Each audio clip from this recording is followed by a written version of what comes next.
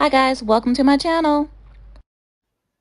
All right guys, so I'm going to show you how to force copy when sharing your work in Google. This will allow whoever has this link to make a copy before they are able to edit your work.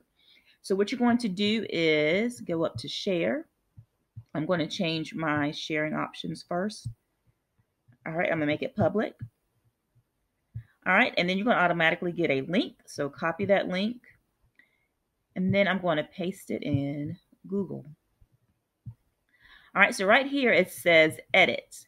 So what we're going to do is we're going to change the end of this link to copy. So I'm just going to hit backspace and type in copy.